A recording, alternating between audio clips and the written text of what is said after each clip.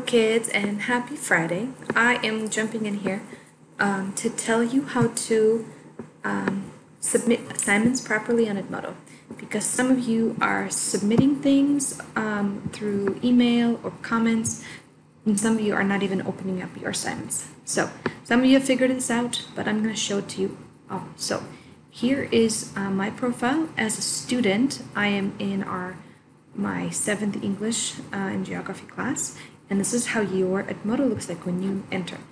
Always, when you first get on Edmodo, please make sure that you refresh your browser because I post new things, and so you, you want to make sure that you're not missing any.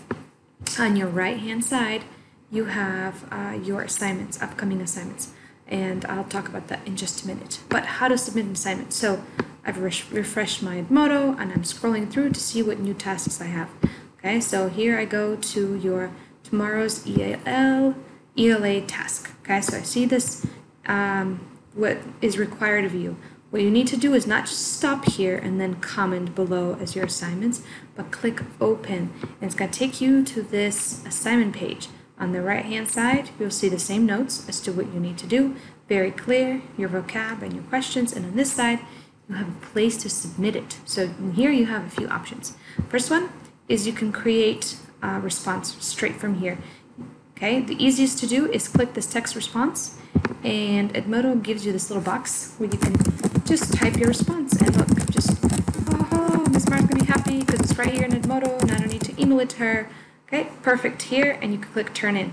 If you don't like this option, you can just create uh, a Word document and it's going to open um, whatever document that you have in your file. I don't suggest doing this option because you guys have different um, different word processing. Um, what I do suggest you do is use a um, file from your computer. So if you're typing on a Word document or in Pages, just click this option, File from your computer, and then it's going to open your file, and then click on the file that you want to submit, click Open, and then you'll be there. Okay, so I'm not going to do that because I don't have a file. If you got something by accident, just remove it the same way that I did, okay? Uh, quick note, if you're gonna do a file from your computer and it's in Pages, make sure you put it into a PDF because Miss Mar cannot open Pages. Okay, when you are satisfied with what you have here, click Turn in Assignments. Okay, confirm, and you are in. Uh, it's gonna load for me. Okay, once you submit, you can always resubmit your assignment um, and that way um, I'll know that whether you fix something or not. Okay, and once you submit your assignment, I'll know that you are done and I get a little email. So it looks like this. Okay, so once you do that, you can go home and then on here's this side, I'm going to show you a quick thing. This is your upcoming assignments. Go to your planner and your planner basically lists all the assignments which you can go from right away. Um, and you can basically um, set up your custom class, which you don't need, but all your tasks here. And basically, you can just click straight from here. Okay, so um, that's that gives you kind of a one place stop for all assignments.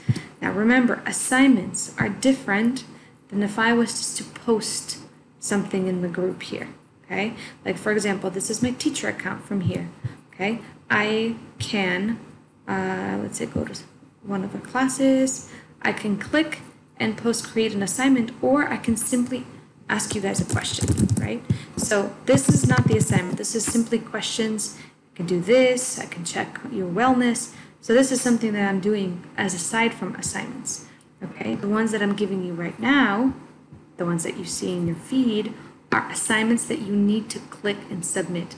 Once you submit, you're going to see something like this and say view submission. You can see what you have and then you know that you're done, okay? Fairly easy. All right, so um, you have your final task this Friday.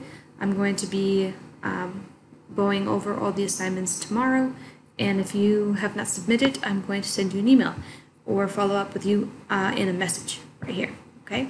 So please um, follow through all the assignments and send me questions if you have them.